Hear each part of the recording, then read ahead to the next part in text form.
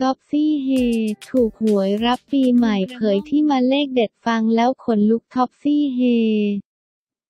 ถูกหวยรับปีใหม่เผยที่มาเลขเด็ดฟังแล้วขนลุกยิ้มแก้มแทบปริเลยสำหรับท็อฟฟี่ 3 บาท 50 สิวดลจันทนเสวี เพราะรับโชคเบาๆ ถูกสลากกินแบ่งรัฐบาลเลขท้าย 2 ตัวจำนวน 6 ใบรับเงินไปนอนในกระเป๋า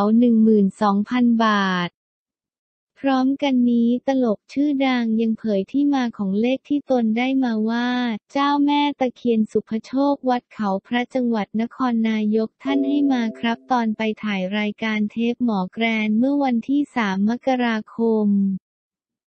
ที่ผ่านมาเรื่องคือหลังจากไหว้เจ้าแม่เสร็จอาจารย์โอเล่ก็พูดกับผมว่าตัวเลขอยู่ที่ข้างหน้าและข้างบนหัวผม สิ่งที่ผมกวาดสายตาไปเห็นตัวเลขเบื้องหน้าก็คือเลข 3 และ 9 ที่ป้ายคาถาบูชา และบนหัวก็คือนาฬิกาเข็มสั้นชี้เลขหนึ่งและเลขห้าผมก็เลยตั้งจิตอธิษฐานเพื่อหยิบลูกปิงปองขึ้นมาพร้อมกันสองลูกก็ได้ออกมาเป็นเลขหนึ่งห้าดังที่เห็นในคลิปครับสาเหตุที่ไม่ได้ลงให้ในเฟซวันนั้นคือ ผู้ติดตามแขกรับเชิญได้ซื้อหัวยี่กี่เลข 15 แล้วถูกวันนั้นเลยผมก็คิดว่าออกแล้วไม่น่าจะออกอีกต้องกราบขออภัยจริง ๆ ครับสาธุสาธุสาธุ มนต์สิทธิ์ทำบุญก่อนหวยออกเนนน้อยบอกเลขให้โชคโค้งสุดท้าย ไม่งั้นตายแน่งวดนี้ทำบุญก่อนหวยออกมนต์สิทธิ์ลั่นไม่มีน้องเนนตายแน่งวดนี้เนนน้อยบอกเลขโค้งสุดท้ายทำถูกหวยเลขท้ายสามตัวเกือบสิบใบ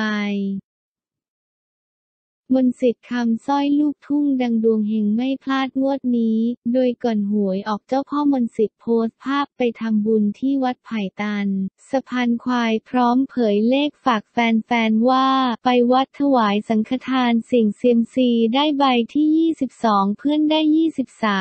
23 เกตสิบแปดก็สวยนะ รวมเลขเด็ดหลวงปู่ดังละสังขารชายตายแปลก50เปิดตารางเลขมงคลหลังผลสลากกินแบ่งรัฐบาลออกมามนสิทธิ์ถูกหวยสมใจลูกทุ่งดวงเฮงโพสภาพกับเนนน้อยและโชว์สลากกินแบ่งรัฐบาลถูกเลขท้าย3ตัว9ใบพร้อมเผยว่า ขอบคุณน้องสามเนนบอกให้ไปซื้อ 78 รีบไปหาซื้อทันที เมื่อเช้าถวายสังฆทานสาธุ พร้อมทั้งบอกด้วยว่า ไม่มีน้องเนนผมคงไม่ถูกไตแน่แน่งวดนี้ ท่ามกลางแฟนหวยเข้ามาร่วมยินดีจำนวนมาก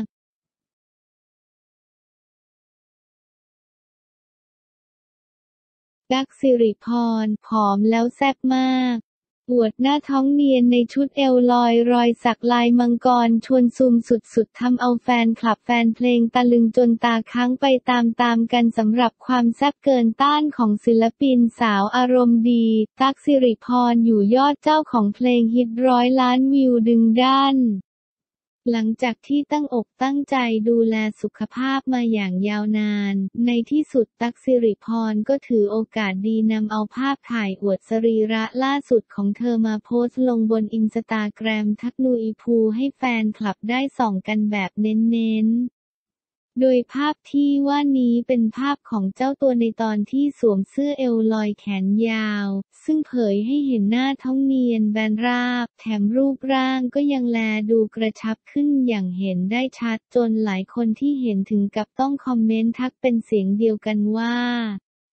ตั๊กสิริพรในตอนนี้ทั้งผอมทั้งสวยไม่แพ้กับตอนสมัยเริ่มเข้าวงการกันเลยทีเดียว แต่นอกจากแฟนๆ จะให้ความสนใจในเรื่องความผอมของเจ้าตัวแล้ว งานนี้ก็ยังมีอีกหนึ่งจุดโฟกัสที่ทำเอาหลายคนอดพูดถึงไม่ได้ นั่นก็คือรอยสักลายมังกรที่โผล่มาทักทายให้เห็นแวบๆภายในภาพเรียกได้ว่าช็อตนี้ของตักสิริพรเป็นอะไรที่แซ่บสะดุดตาทุกองค์ประกอบจริงๆ ตักสิริพรสักรับปีใหม่แม่แซ่บมากโชว์รอยสักที่5บนร่างกายตักสิริพร ย้อนเส้นทางรักเมื่อ 20 ปีก่อน นุ้ยเชิญยิ้ม เขียนจดหมายรักหย่อนใส่กระเป๋าทุกวัน ช่วงโควิดชีวิตต้องดีมีงานมีเงินซื้อข้าวกิน ติ๊กโยกเอวพริ้วขายชุดแซบแห่ให้กำลังใจติ๊กบิ๊กบราเธอร์ขยันทำมาหากินโพสต์รีวิวขายสารพัดเท่าที่เจ้าตัวจะทำได้เพื่อหาเงินใช้หนี้สิน แต่ไม่วายเจอดราม่าอยู่บ่อยๆ เจ้าตัวประกาศถึงคนที่ยังชอบมาดราม่าว่าเจ้าตัวก่อนหน้านี้ด้วยว่า เบาได้แม่เบาฟาด แม่ได้ฟาดด่าแม่ได้ด่าชมแม่ได้ชมแม่รักทุกคนชมแม่เอ็นดูทุกคนด่าแม่เป็นคนบ้า เราแม่มีสองด้านนะคะ คุณผู้ชมแม่ไม่ถือสาคนอารมณ์ร้อนเป็นที่ตั้ง แม่โฟกัสที่งานเป็นหลักค่ะแม่ตั้งใจทำมาหากินเลี้ยงชีพชอบ ช่วงโควิดชีวิตต้องดีมีงานทำมีเงินซื้อข้าวกิน ติ๊กยังโพสต์รีวิวชุดสวยสวยรัวรัว แถมมีคลิปเต้นแซบในแอปทิกต็อกติ๊กบิ๊กบราเธอร์โยกเอวพริ้วขายชุดเดรส โชว์สเต็ปแดนซ์เซ็กซี่ แถมยังขายชุดน่ารักรักบอกว่าขายชุดเดียวได้ทุกแนวท่ามกลางแฟนๆที่สนใจชุดสวยๆ น่ารักรัก โดมปกรณ์ลามเผยคลิปโกนหนวดเอาใจภรรยาน่ารักมุ้งมิ้งทำสาวสาวใจละลายเรียกว่าเป็นอีกหนึ่งคู่รักที่ถึงแม้จะไม่ค่อยมีมุมหวือหวาออกมาให้ได้เห็น แต่ถ้าถามถึงเรื่องความหวานก็เรียกได้ว่าไม่ยอมแพ้คู่ไหนเลยจริง ๆสำหรับโดมปกรณ์ลำกับภรรยาสาวเมทันสุขขาวอย่างล่าสุดโดมปกรณ์ลำก็ได้เผยคลิปน่ารักๆ เมื่อเจ้าตัวได้โกนหนวดเอาใจภรรยาสาว พร้อมเขียนแคปชั่นไว้สั้นๆว่ากลแล้วจ้าซึ่งในคลิปการสนทนานั้นหนุ่มโดมได้ถาม เมทันไว้ว่าโดม สามีโกนหนวดแล้วหล่อหรือเปล่า เมท่าน หล่อข้าหล่อคนละแบบเลยแล้วน้องมีหน้ามาน่ารักหรือเปล่า โดม เหมือนได้แฟนใหม่หรือเปล่า เมท่าน พยักหน้า ค่ะ โดม มีหน้าม้าแล้วทำไม หัวเราะหน้าหวานจัง หอมแก้มภรรยา งานนี้ทำเอาแฟนๆ ที่ดูอยู่ถึงกับใจละลายการเป็นแถว เพราะสายตาที่ทั้งคู่ที่มอบให้แก่กันนั้นทั้งน่ารักอบอุ่นและอ่อนโยนสุดๆจนบางคนถึงขั้นบอกเลยว่าโดมปกรณ์ลำไม่ควรมีคนเดียวบนโลกจ้า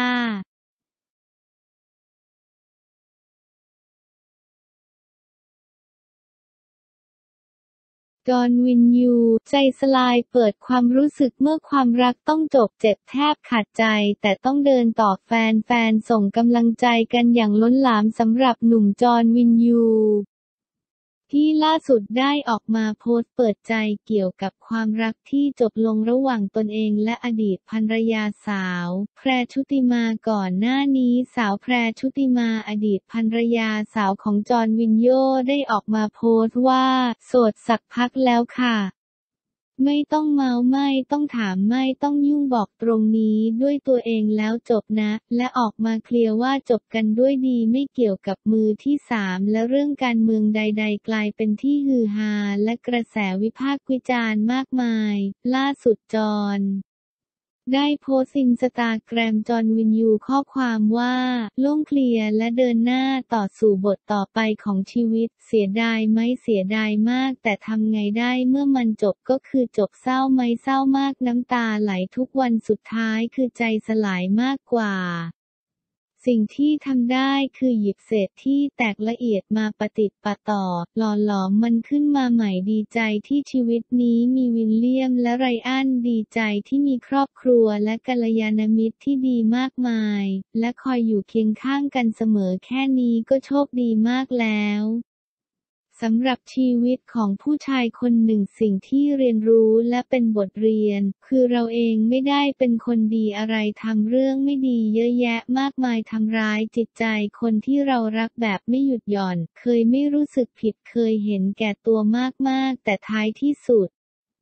เราก็รู้ความจริงว่าเราไม่ดีและพลาดตรงไหนและไม่คิดจะทำตัวแบบนั้นอีก แม้จะสายไปแล้วแต่ก็ยังดีที่เรียนรู้และสัญญาว่าจะไม่ทำตัวแบบนั้นอีก ทุกชีวิตต้องเดินต่อไปขอบคุณช่วงเวลาดีๆ ที่ผ่านมา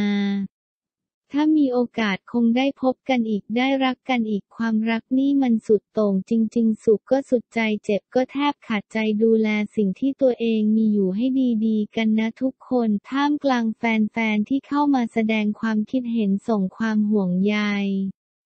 และส่งกำลังใจให้จอนกันอย่างล้นหลาม